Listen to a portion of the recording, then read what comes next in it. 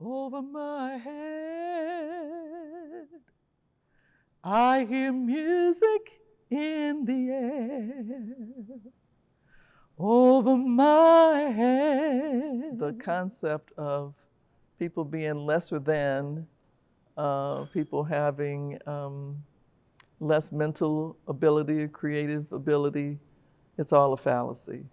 And I am always so proud to see the accomplishments of my people, regardless to what they have been through. Um, and so I, there's so much, especially in New Orleans, has happened when it comes to music that we um, we don't talk about often enough. And the fact of I, when I think of my great great grandmother, the fact that she went to church where they spoke French, that she spoke Creole at home, that she uh, had a, a person who she worked for who spoke English, and she was blind, and she had 13 children, and she negotiated all of that. That we are an amazing people to, to manage difficulty and to get through difficulty. Well, New Orleans quickly became an opera mecca uh, in all of North America. If you did not perform in New Orleans, you were not a star, you were not a, uh, a noteworthy talent. And we produced our first opera here in 1796.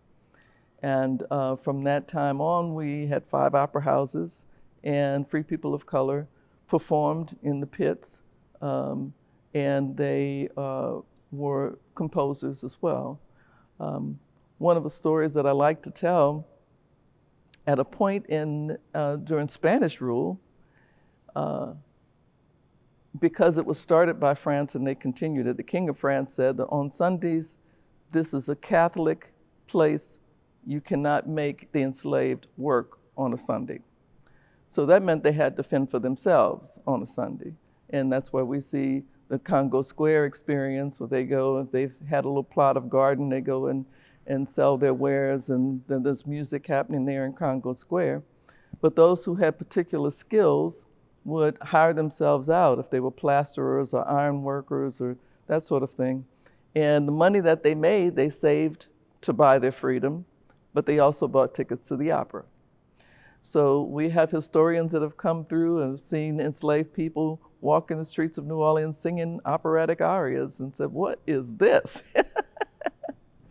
and so it was um, like the pop music of the time, it was well loved, um, and it was um, one of the things that I think re- really helped to save New Orleans because it wasn't in terms of weather and pestilence, it was not really a great place to live. And so um, having this culture brought into the city and that people can enjoy was one of the things that saved New Orleans in its early years. Um, but those who were trained here in New Orleans by um, other free people of color who went to France to get trained and came back and taught music, they were able to publish which in one way you think that's really great. The, these were white publishers that did not impede their ability to publish music. Edmond Dede published his first piece in 1852. But especially because of his skin color as being a dark skinned man, um, he, he really had a lot of resistance and really being able to fully do what he wanted to do. But he did write art songs, and once he got to France, he was writing symphonies and choral works and, and operas, um, and was able to really expand on his goals there. It was fragile in that um, they were able to attend the opera, they were in the pits of the opera, they even had their own independent orchestra in 1840 of 100 free men of color and some whites. Um, but the more we got towards the 1850s, 1860s, things just really started getting clamped down because there was just too many of us. And um, the rules started clamping down, so they started kicking people out of the opera house. They didn't want them going, they didn't want them participating in certain things.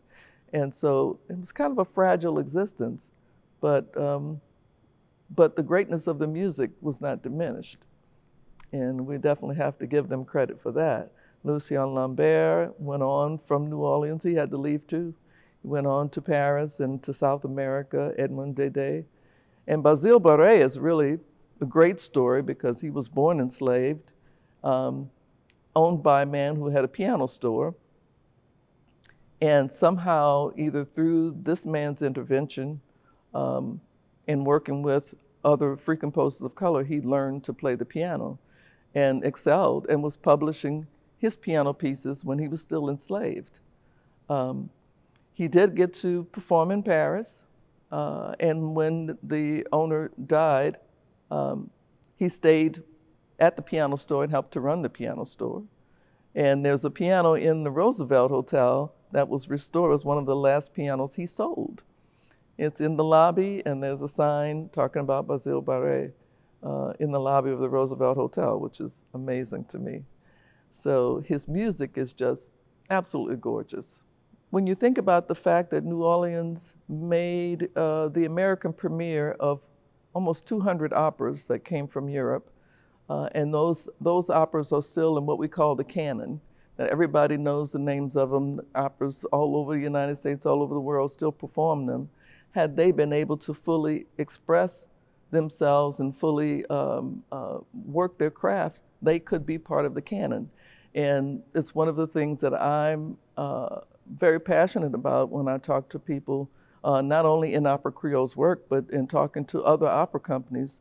You need to give them a voice and you need to uh, introduce them into the canon because they are just as worthy as Verdi and Mozart and all of those people. Um, so the limitations placed on them did not allow for their productions to be um, uh, uh, given their full due here in New Orleans.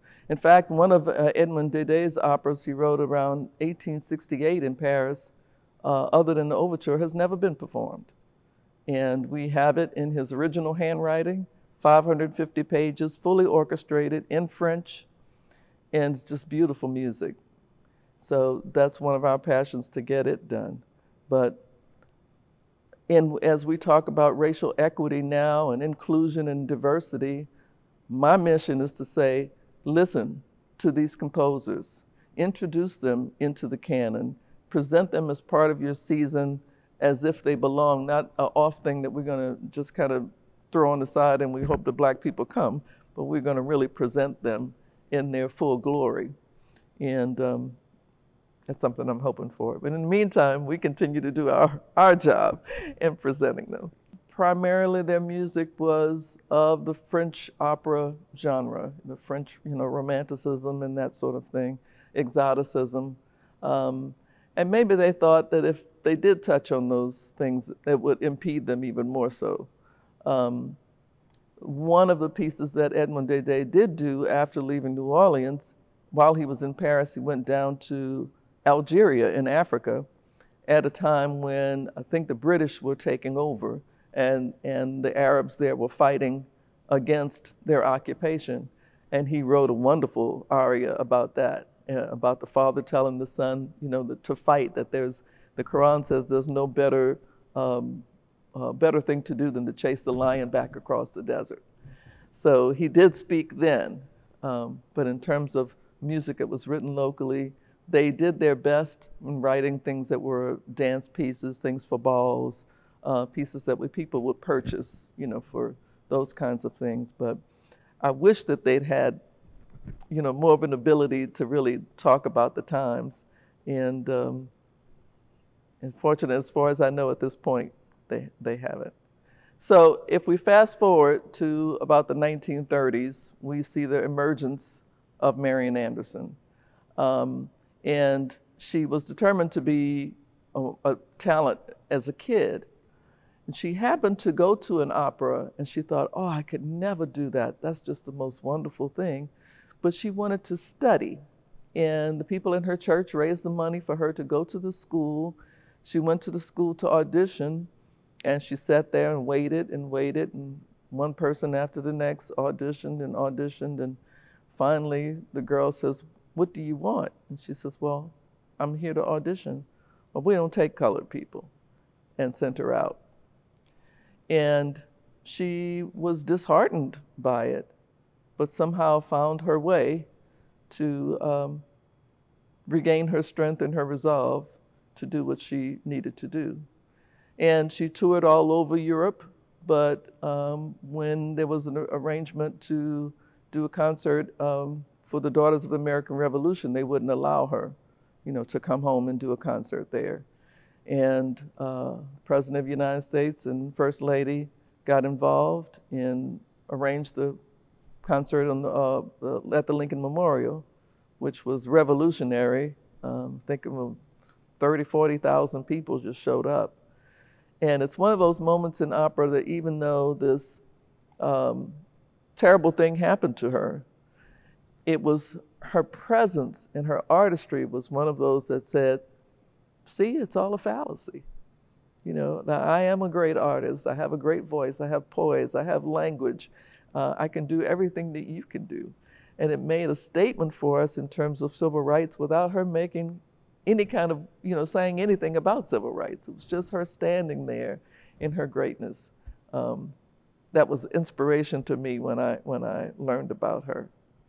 Um, the other part of that, before she comes on the scene, one of my heroes uh, was born a slave. Her name was Elizabeth Taylor Greenfield. Uh, the woman that owned her and her parents decided she didn't want any more to do with slavery, so she moved and joined the Quakers in Philadelphia.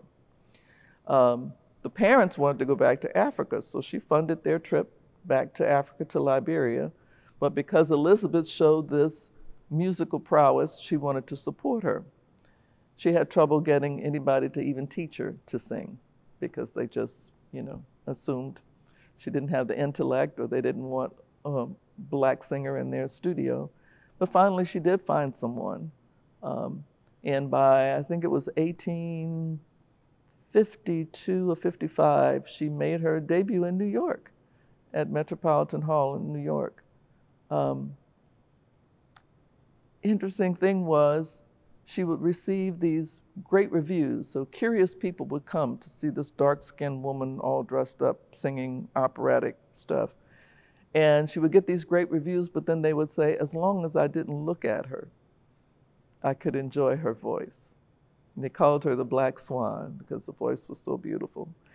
She later um, uh, performed for Queen Victoria.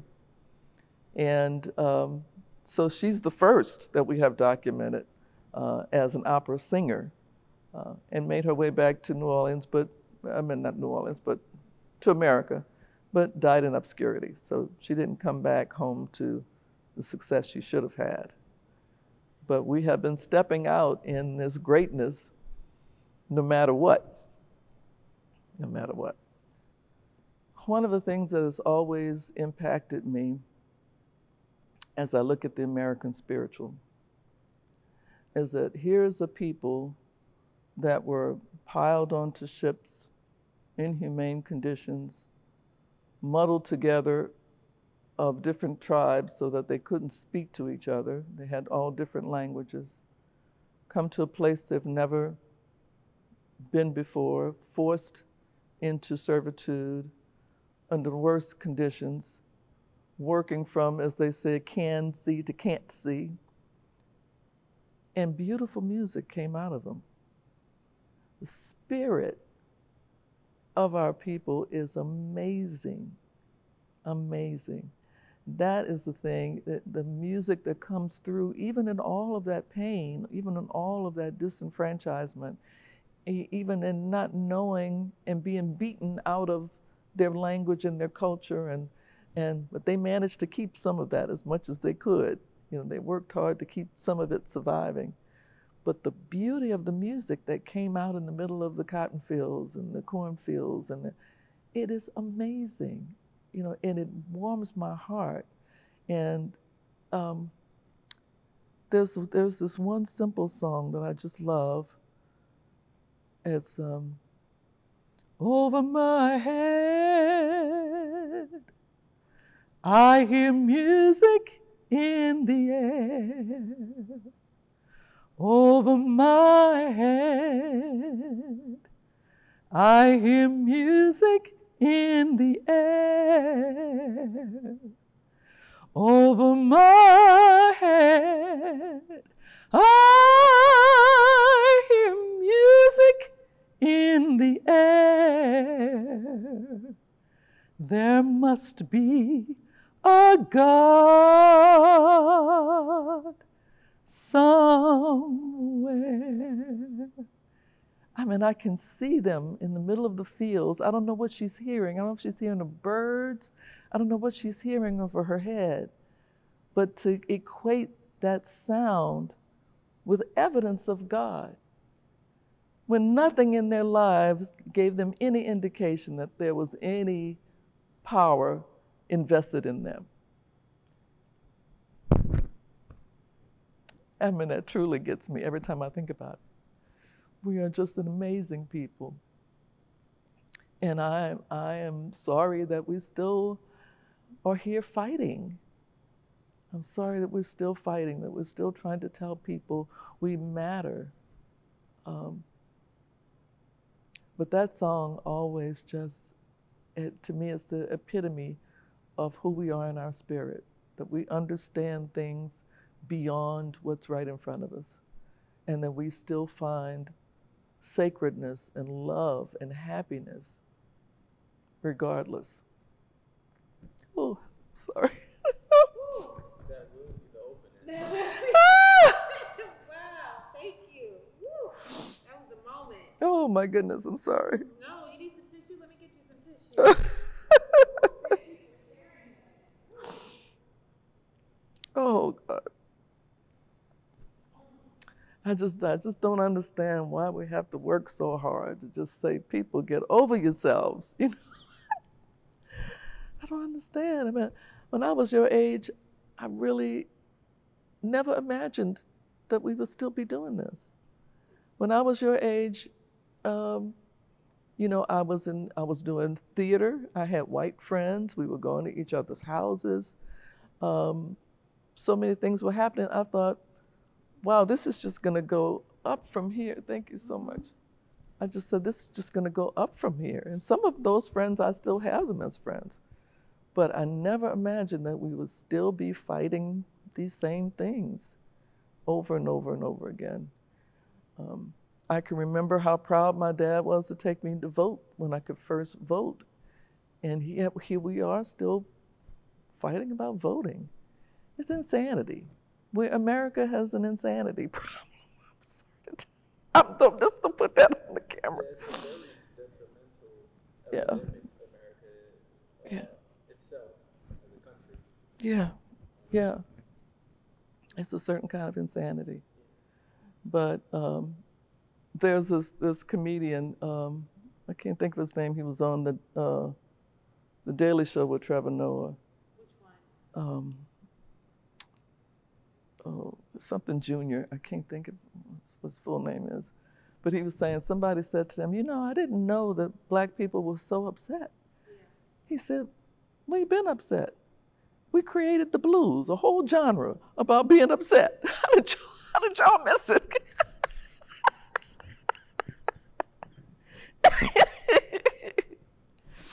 no, oh, anyway. I like that part too. okay. Thank said we were in New Orleans, uh, in in Africa, going ah, you know, happiness, and then we came here, bloom, bloom, bloom, bloom.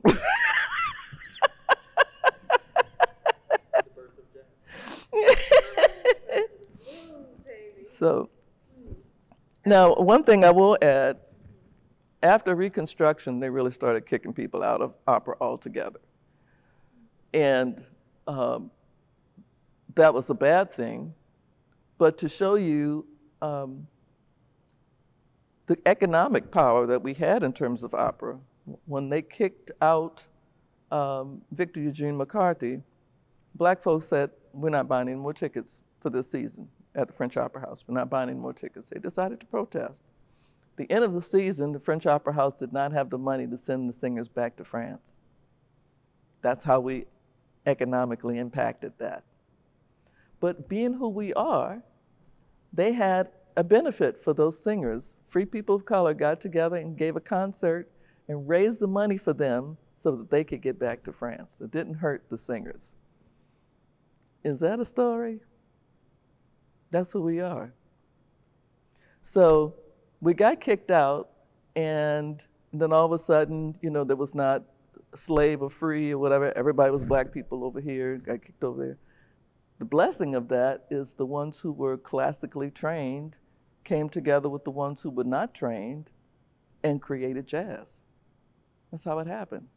So even though they were in Storyville, um, uh, you know, in these brothels, people who were coming to the brothels were also people who had money to go to the opera. So they were still there playing operatic overtures on the piano.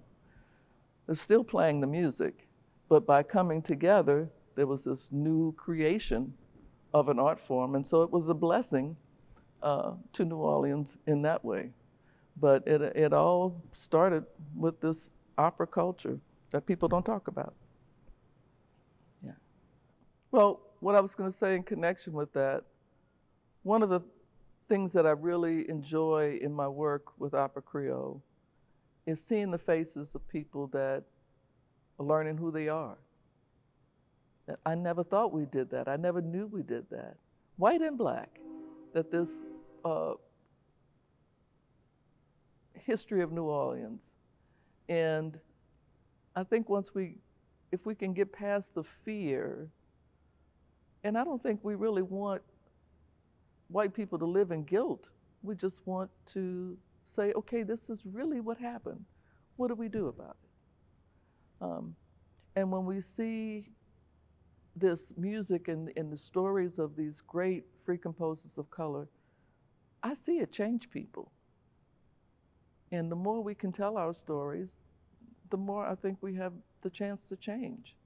And that's what I really love so much about our work. Somebody uh, said to me when I was 35, you know, you should give up on all that singing stuff.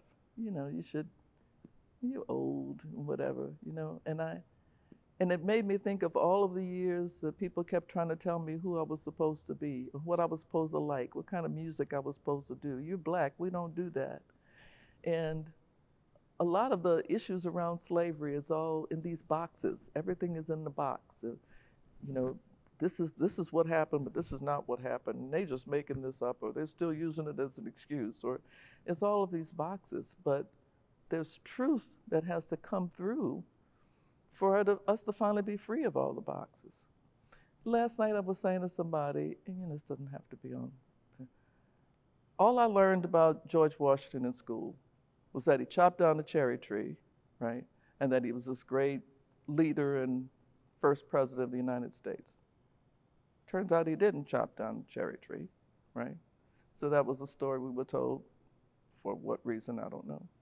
But it was only a few weeks ago in watching a documentary that I found out that when he was president and the president's house was in Philadelphia, and he took his slaves to Philadelphia, the law there was if you stayed six months, you were free. He would switch them out at five and a half months.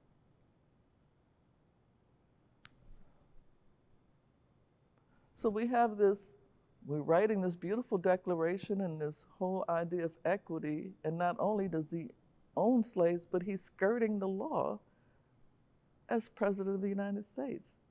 That's something we should talk about. The only one that didn't own slaves was John Adams, and he's the only one that doesn't have any monuments. Seen the monuments to John Adams? No.